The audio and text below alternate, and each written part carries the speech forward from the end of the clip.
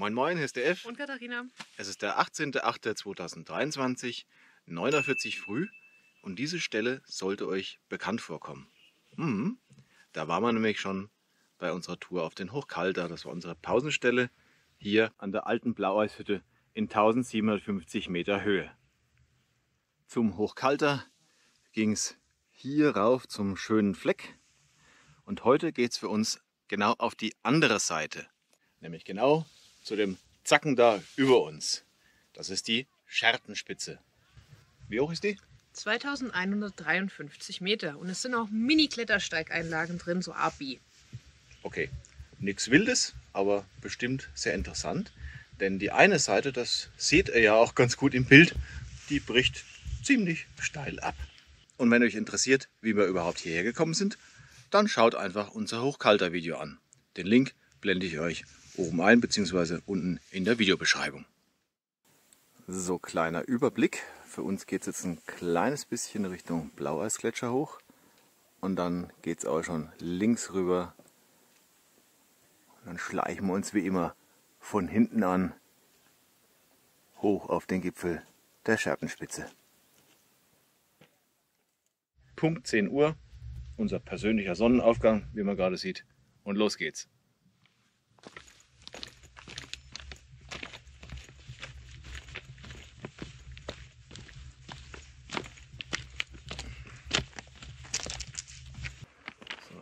So, auch gleich ein Wegweiser. Jawohl, Schattenspitze, eineinviertel Stunden. Hier lang.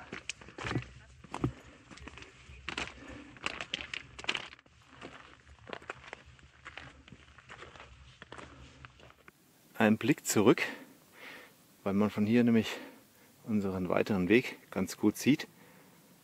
Da vorne steht Katharina und ab da in dieser Rampe geht es jetzt erstmal nach oben. Da sind auch schon Leute in der Route und dann weiter zum Gipfel.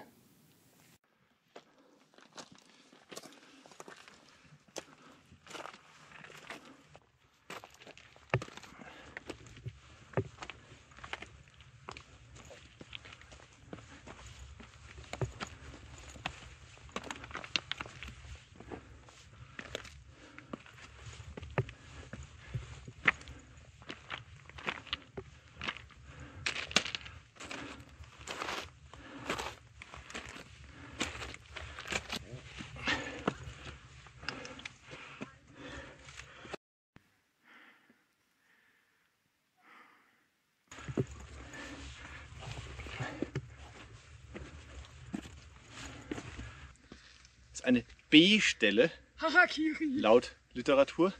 Ja, wenn man zu große Füße hat. Äh, ja. Und weiter.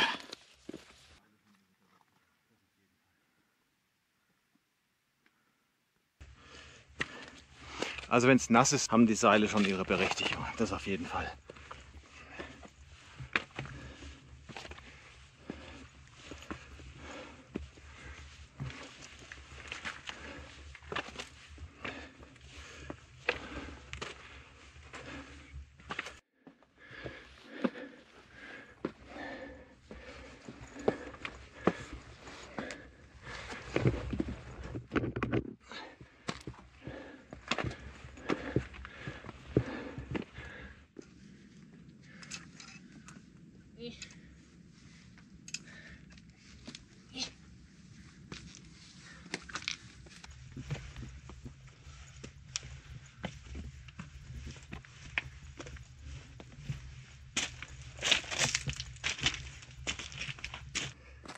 Hier wird es jetzt ein bisschen bröslicher.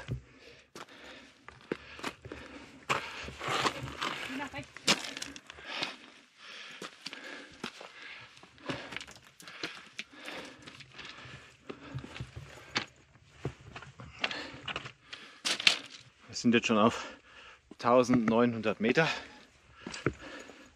Das geht ziemlich flott.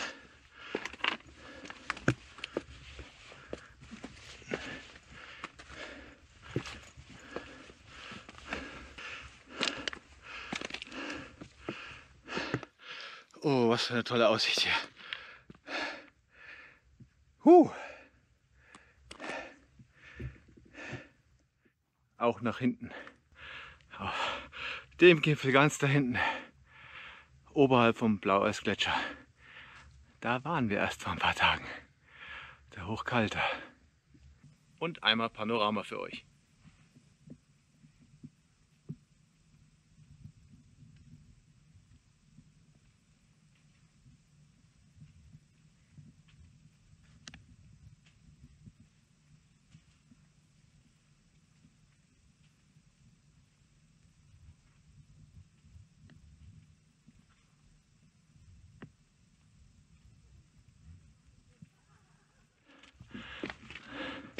Ab jetzt geht's im Zickzack.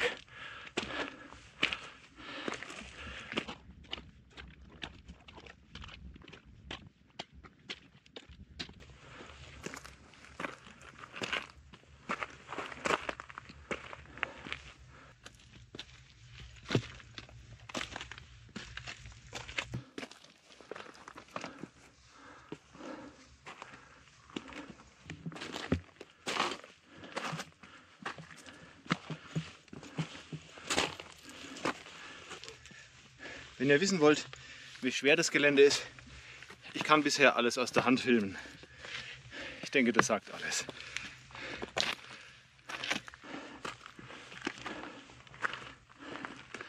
Da hatte jemand viel Zeit. Ist aber auch eine echt schöne Stelle. Und da geht's weiter.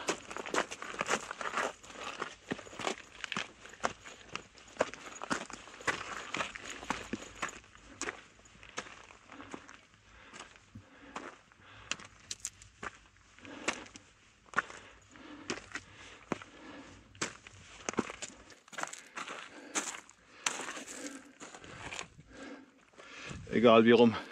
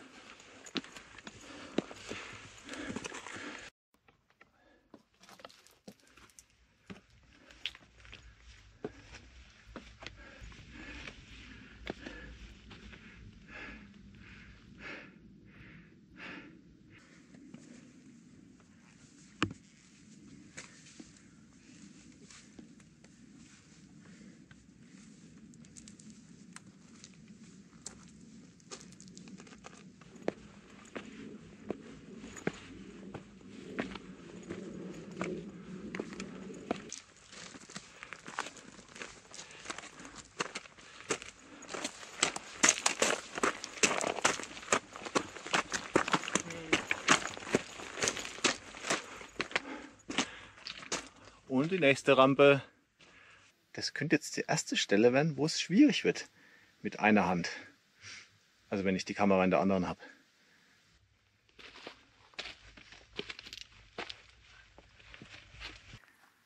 DF macht sich seine eigene Schlüsselstelle.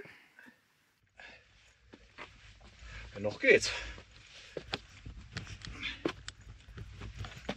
Du sollst in der Rinne gehen. Du cheatest. Wie in der Rinne. Ach so.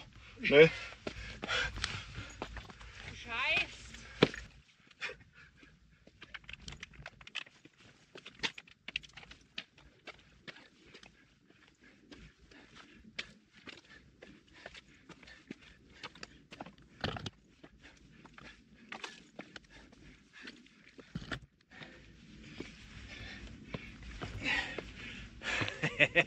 Es hat geklappt. Jetzt seht ihr, wie man es richtig macht. Das habe ich nur machen können, weil keiner hinter mir war, dem ich ein paar Steine auf die Birne hätte schmeißen können. Ganz oben sieht man ein paar andere Bergsteiger. Ich gehe mal davon aus, die sind schon ziemlich am Gipfel. Wir haben auch nur noch 100 Höhenmeter.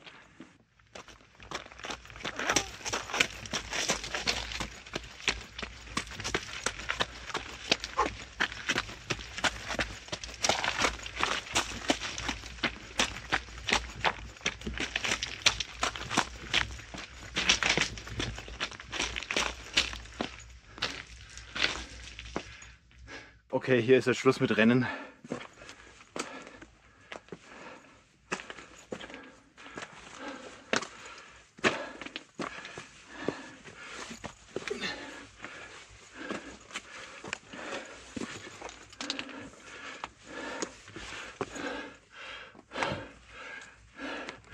ums Eck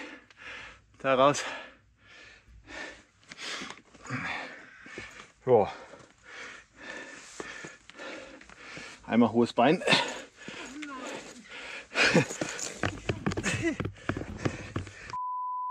So ein Mist. Ich krieg's nicht mit einer Hand hin. Kannst mir die Kamera geben, ich gebe sie dir wieder. Ich musste die Kamera leider abgeben. Ich brauche beide Hände hier. You lose. Das geht von der Balance nicht anders. Ich weiß.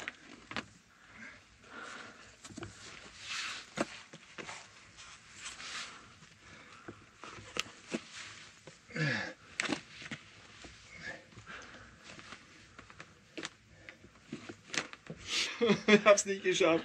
Aber schöne Stelle, davon abgesehen. Macht Spaß.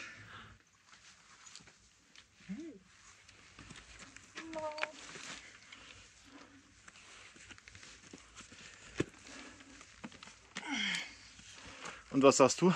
Geht es mit einer Hand oder? Wenn man lebensmüde ist. Ich bevorzuge zwei.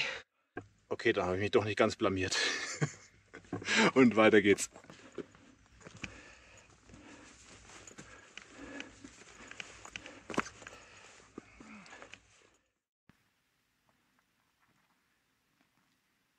Oh, wenn wir Pech haben, werden wir eingenebelt. Vom Hochkalter und der Blaueisspitze zieht Suppe auf uns zu.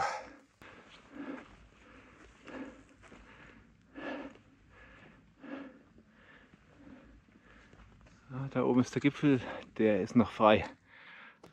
Die letzten paar Meter sind nur noch 40 Höhenmeter. Und wie ihr sehen könnt, ist da am Gipfel ein ziemliches Gedränge. Also nicht wundern, wenn wir etwas wortkarg sind.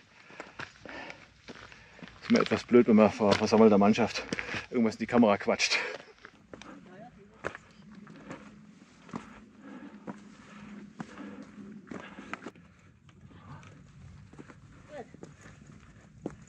Hier geht es auch richtig gescheit runter. Wir haben einen leichteren Weg vor uns.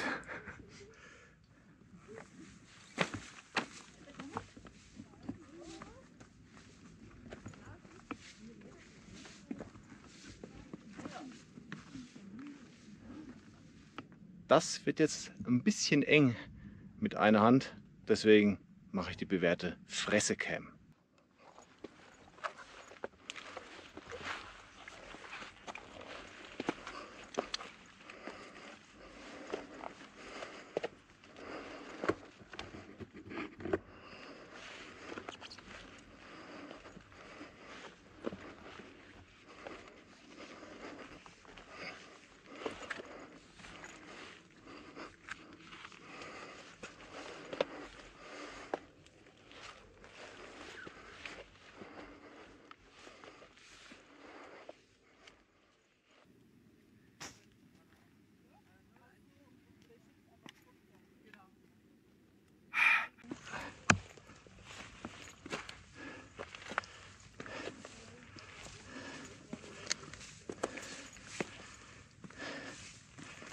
Wir haben es geschafft. 2153 Meter, wir sind auf einem Gipfel der Schertenspitze und wir haben den Gipfel für uns allein. Zumindest das In Gipfelkreuz. der Richtung jedenfalls. Mal? 11.30 Uhr. Und einmal Panorama.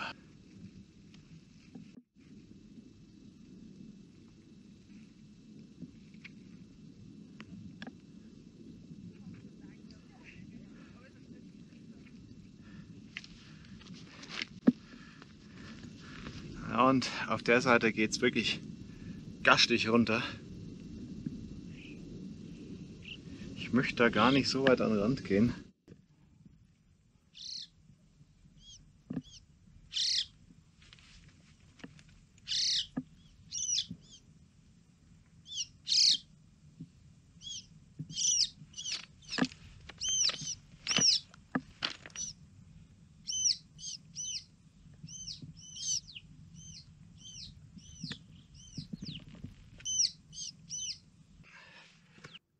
Ein Blick auf die andere Seite. Da ist nämlich jetzt auch gerade frei geworden.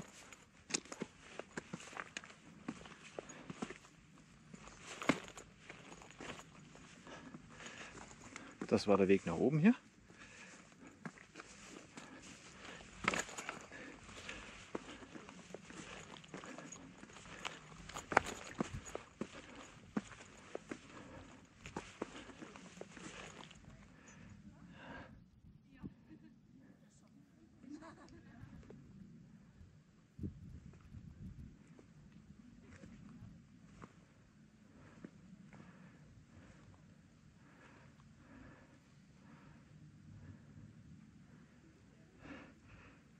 Wir machen uns jetzt wieder an den Abstieg. Vorher machen wir noch eine ganz kleine Erkundung Richtung Blaueisspitze. Da soll es nämlich eine Kletterroute geben auf der Ostseite. Und wenn wir schon hier sind, dann wollen wir uns die mal kurz angucken. Vielleicht ist das ja was für uns oder auch nicht.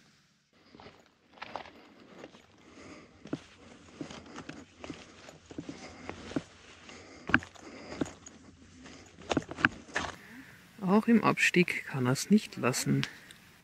Die Route hat ihn scheinbar unterfordert.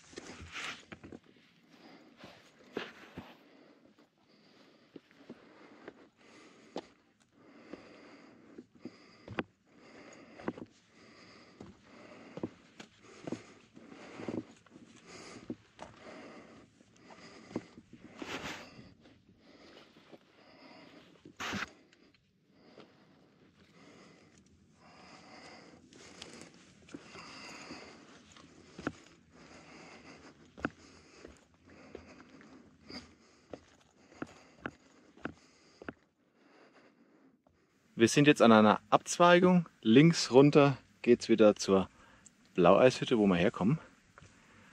Und hier geht es weiter bis zur Eisbodenscharte. So weit gehen wir nicht, aber zumindest ein kleines Stück, um einen Blick auf die Blaueisspitze erhaschen zu können.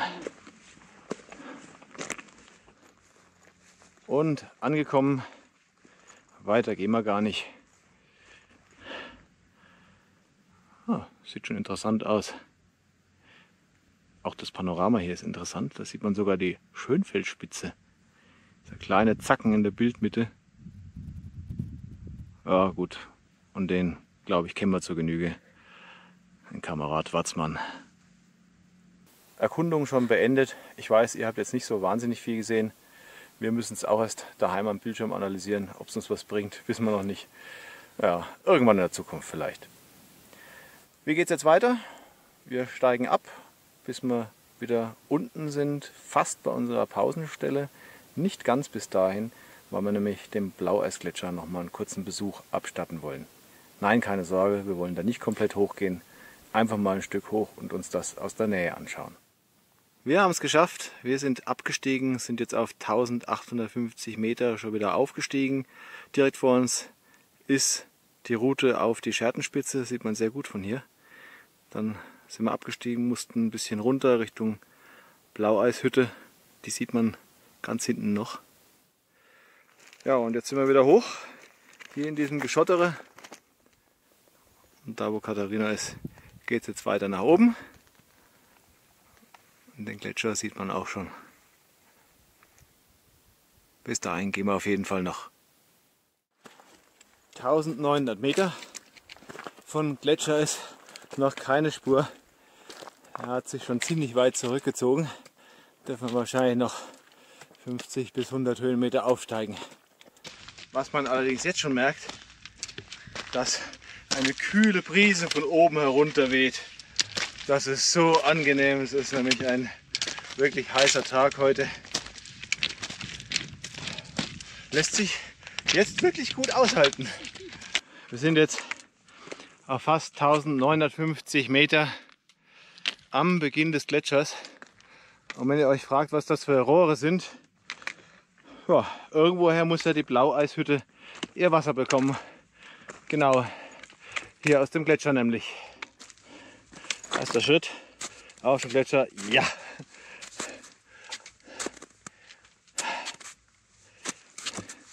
ist recht fest, aber natürlich angetaut. Wir haben übrigens keine Gletscherausrüstung dabei. Das brauchen wir auch nicht für das, was wir vorhaben. Wir wollen nur ein paar Schritte nach oben und mal ein bisschen gucken. Wir werden garantiert nicht in den oberen schweren Teil einsteigen. Was wir aber dabei haben, ist erstens mal Stöcke, klar, und auch Grödeln. Ist besser als gar nichts, dass wir hier nicht wie wild herumschlittern. Mhm. Also, dann wollen wir mal.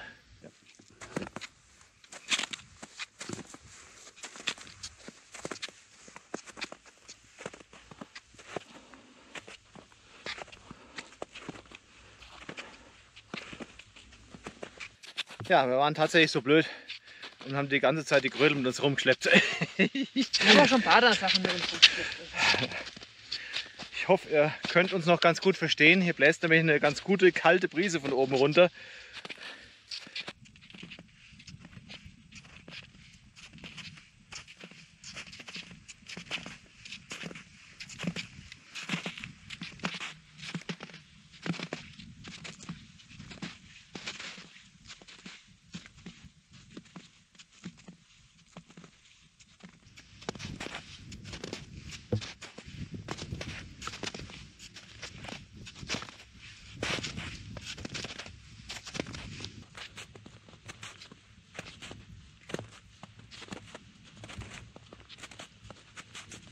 Wir sind jetzt auf etwa 2050 Meter Höhe am Ende des ersten Schneefelds.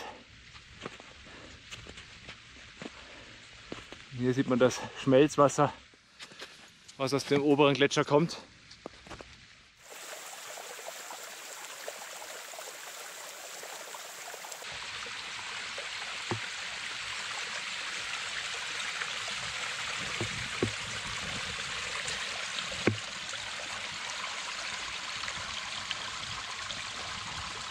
Da wo Katharina steht, war ich gerade eben noch. Bin jetzt noch mal hier rauf. Da fließt das Wasser runter vom Gletscher.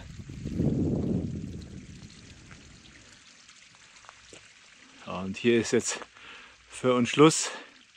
Das ist jetzt der mittlere Teil und den oberen Teil, den sieht man schon gar nicht mehr. Wird durch die Felsen verdeckt. Und nochmal Panorama.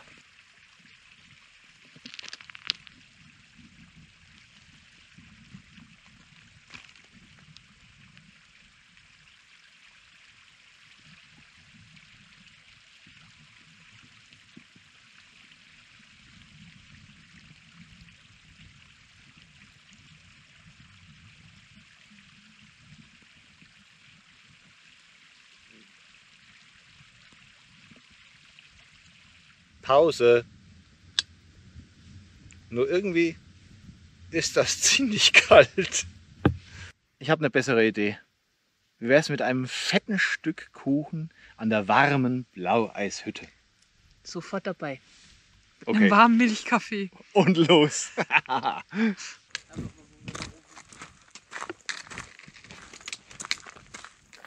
15.20 Uhr. Wir sind zurück an der Blaueishütte. Und jetzt geht es erstmal ordentlich Kuchen. Cheers.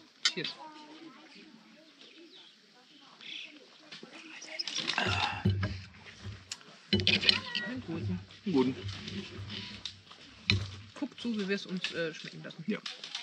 Um. Mm. Und das ist unser Ausblick beim Futtern.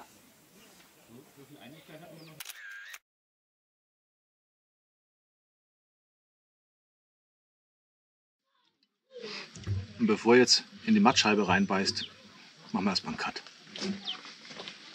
Und mit diesem wunderschönen Panorama verabschieden wir uns jetzt von der Blaueishütte und machen uns wieder an den Abstieg.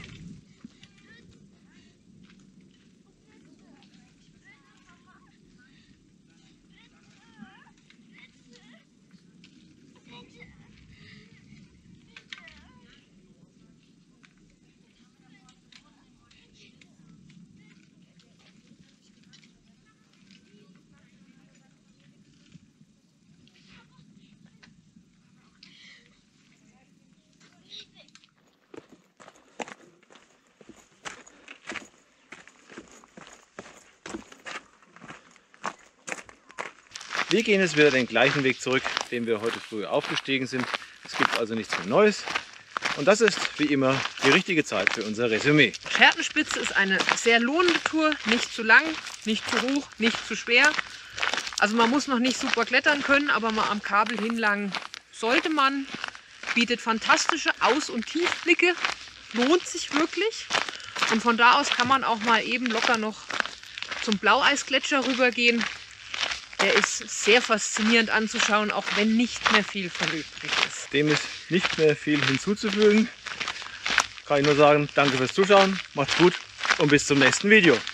Ciao. Tschüss. Und der Kuchen ist lecker. Richtig.